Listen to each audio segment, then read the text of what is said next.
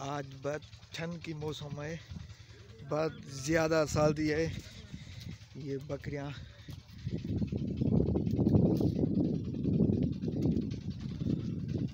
ठंड में ये सूखी लकड़ी को बहुत पसंद से खाती है।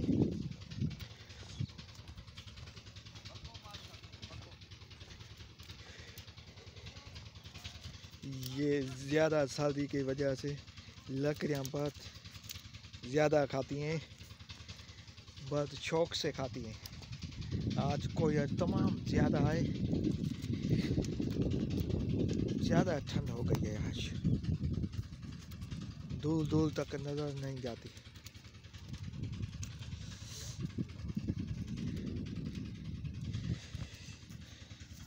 ठंड के मौसम में बकरियों के लिए। पसंदीदा खादा कपास की लकड़ियाँ